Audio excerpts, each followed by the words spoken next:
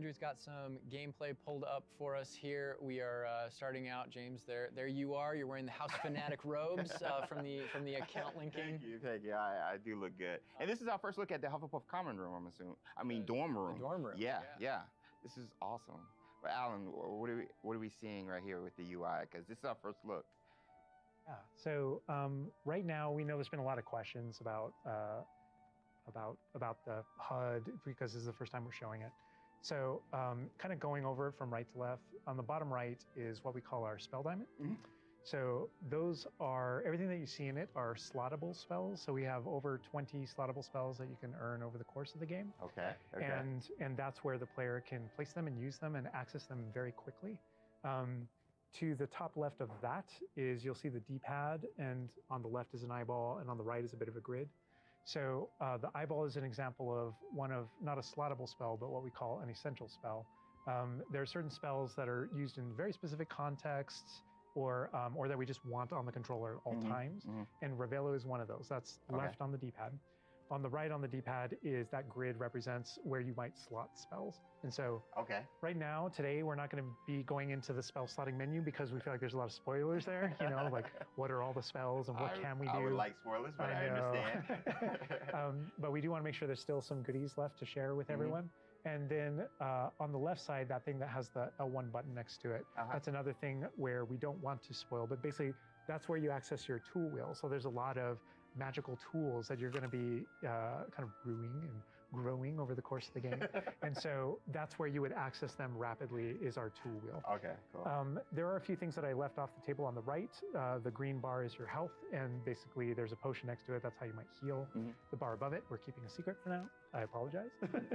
and uh, all the way on the left is our mini map with a kind of overhead view of where you are currently Yeah. in your common room that updates as you travel through um, Hogwarts and beyond out into the world. And for those those fans out there that aren't a huge fan of mini maps because we know they exist, there's also options to remove the mini map Oh, and cool. turn on or off different elements Cool. of Okay. our HUD. But Really that- immerse yourself. Yeah, in, in- yeah. and we'll go more into the spells as we get into combat, but that's kind of that's that's what you're seeing there. And this is our HUD. Also, Andrew's giving us a, a good look over here. I want to I want to call out. Uh, I'm I'm a big fan of the bedside tables in the dormitories. Um, very nice bedside tables. they are nice bedside tables.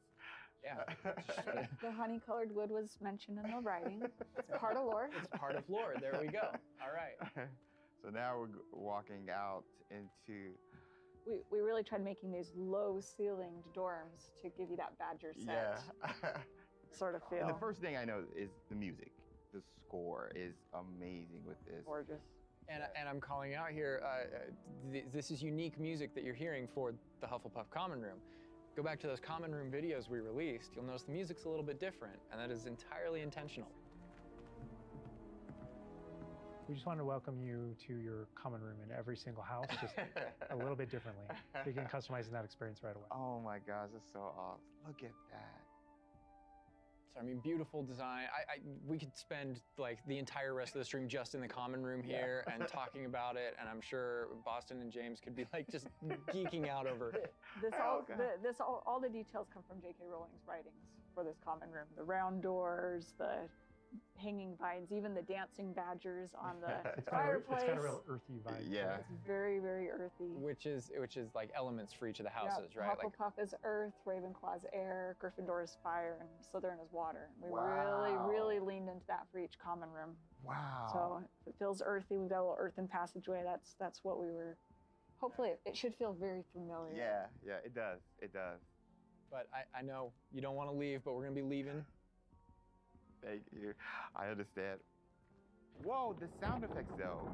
Like looking back at the past trailers, it was just music, but kind of hearing how Hogwarts is now.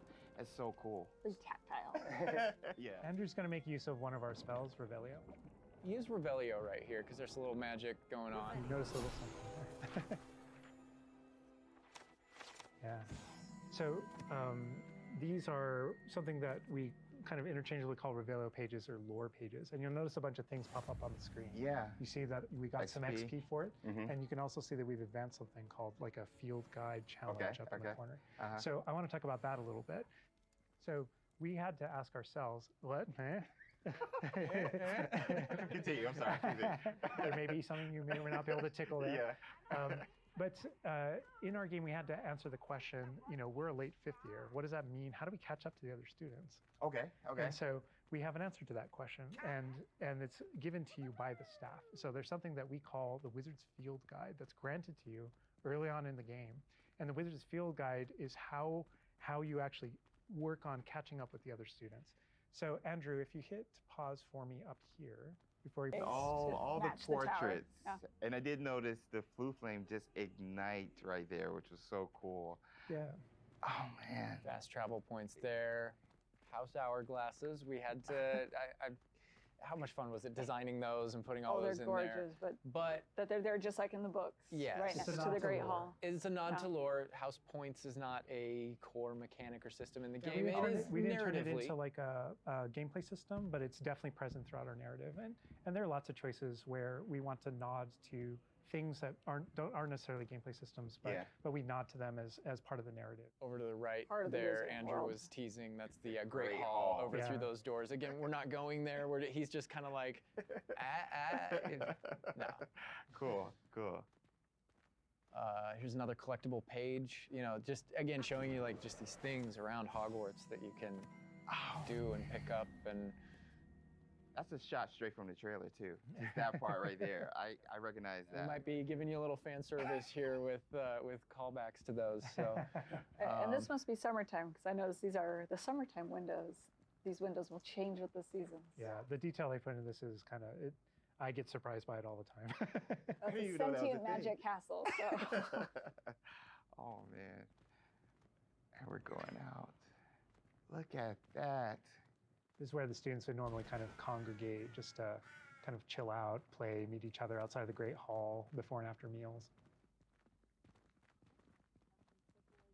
And I, I, I love the way that when the castle interconnects to, uh, that it interconnects outside, inside. There, there are pathways on both sides of things, so you really get a sense of scope Yeah. to, to how big this castle and is. And when you see things like you'll, you'll notice a bridge over there. That's a place you can go to and cross. Like Yeah. everything is everything that you see is a place that you can visit. Wow. We tried so we put a lot of effort in making it feel really alive um, not just with student population but even just the greenery and stuff it's scotland Yeah. and this castle's been here for hundreds of years so it just kind of the moss and all the trees that have overgrown it and Oh my gosh.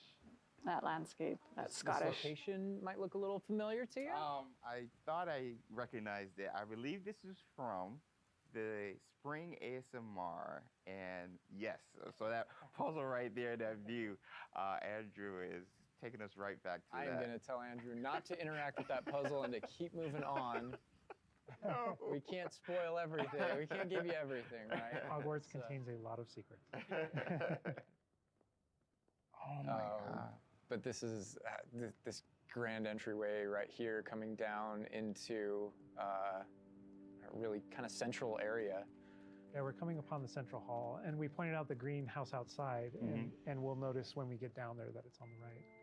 this And- is a big hub of the school like it, it's a big castle but um, it is designed so you shouldn't get very lost this is kind of a grand central station I love that that. I love each that. direction, you know, it's green over there, so the greenhouse is over there. Transfiguration Courtyard, you know, the library straight ahead. So it's kind of a the hub Oh my of god. a lot of the castle. Even the color visually, you can just tell. Okay, green, Oh, green, greenhouse. way. li- oh my god. I should. A lot of it'll be subconscious, but Yeah. it, it'll help you really feel, learn the castle, and Mhm. feel like you know your way around.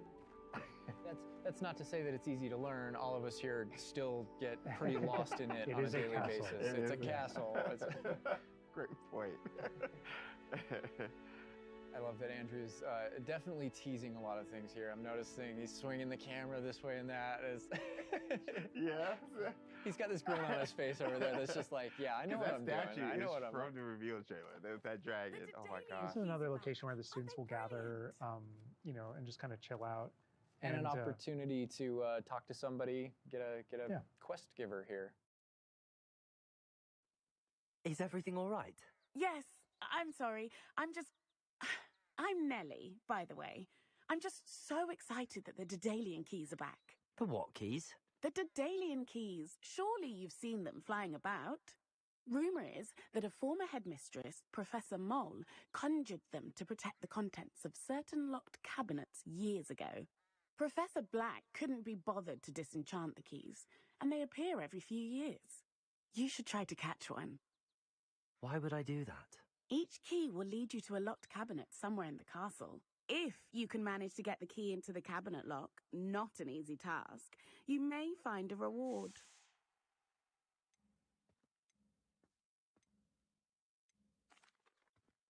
Perhaps I'll give it a go. I hope you do. In fact, I think I heard one of the keys in the astronomy tower. You should listen for them.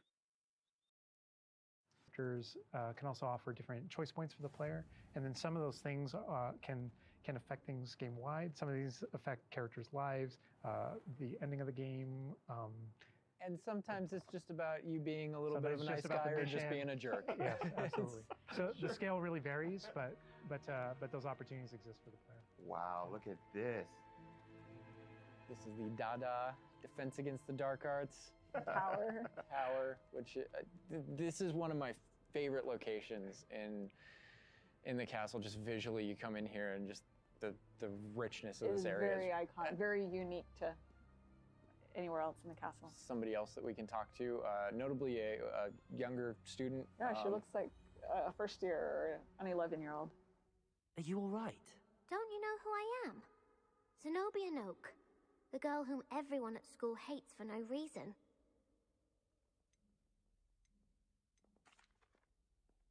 Everyone hates you. Why? Because Hogwarts is full of bullies and spoil sports. Leander Prewett's one of the worst, that no talent moon mind. I wanted to make some new friends, and so I brought my collection down to the common room. My gobstone collection, that is. I was hoping someone would want to play. Are you familiar with gobstones? Little balls, like marbles. Grand game. And if you lose, they spray you with a foul smelling liquid.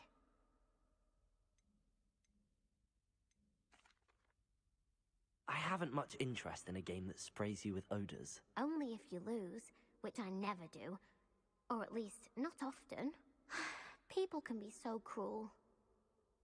Just because they're sprayed all over with smelly gobstone spit, it's their own fault for losing.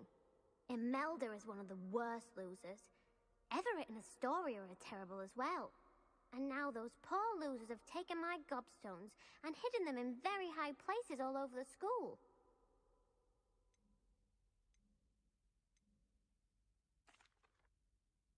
Sounds as if you caused the smelly situation and they responded accordingly. I didn't make the rules. Anyway, I can't work out how to get them back on my own. I don't think I know the necessary spells yet. I need someone, perhaps a selfless and talented fifth year to help me.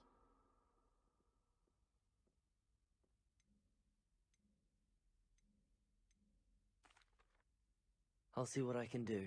I'd appreciate the help. If you do find all of my gobstones, do come and see me again. I'll be back to playing Snake Pit and Jackstone by myself in no time.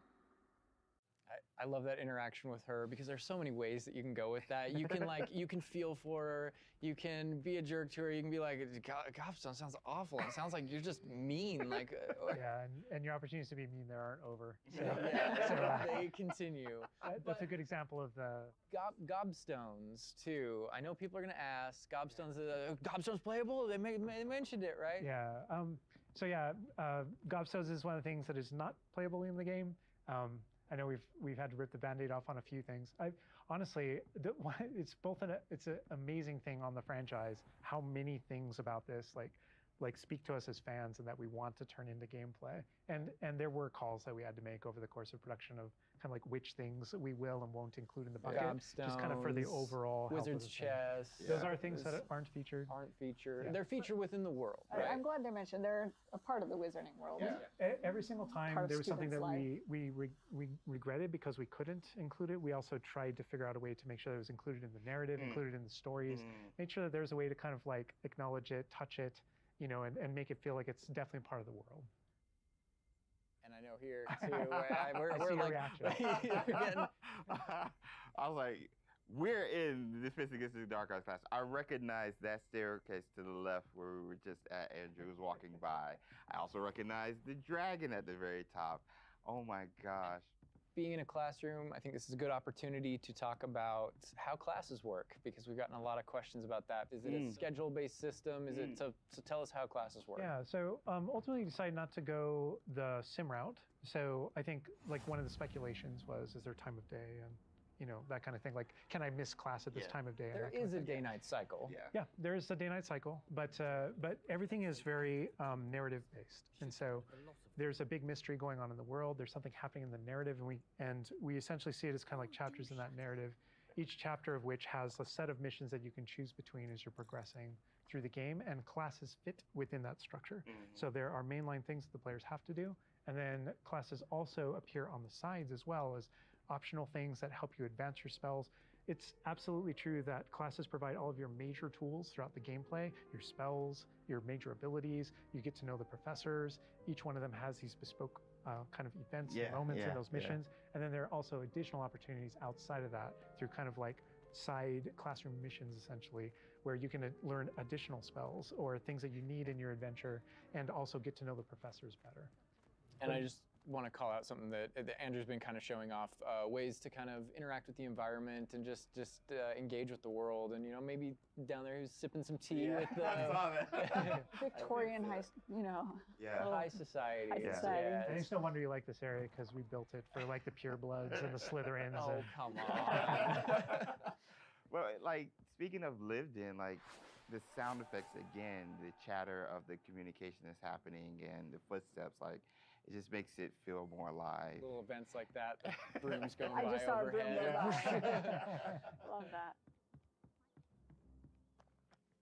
The Dada tower was one example, but um, no two hallways should look the same in Hogwarts. It's a it has a lot of personality. Every hallway should be a little bit different, and that's mostly to help orient the player, Right, help, right. help you not get lost. But uh, uh, this is Hesperus Hall. That's a little nod from the Marauders, a name that came from the Marauders map.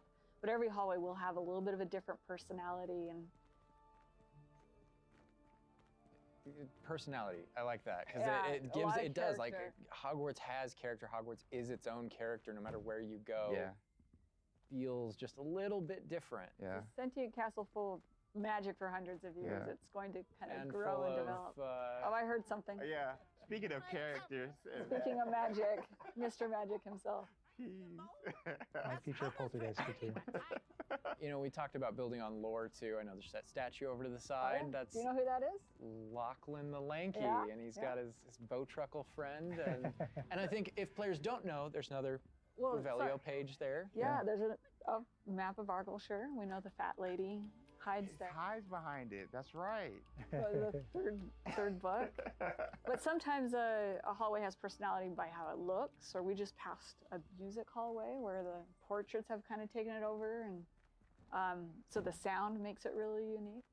All right, I got to call this out here. I know there's been some criticism in the past that uh, our trailers and our gameplay and what we've shown so far has not had enough owls. Okay, so here we are at the owlery. We're looking directly at the owlery to show you all of the owls. It's a lot of owls. It's a lot of owls at the owlery. I all love the, the fog rolling down that. Great callback. Great call. But no, I also I also love that as I, I one of my favorite things about just kind of going around on the outside of the school is that all those things that I see are places that I can go to, mm. That I can visit. I just love that sensation knowing so that that is cool. real. That lovely Scottish countryside.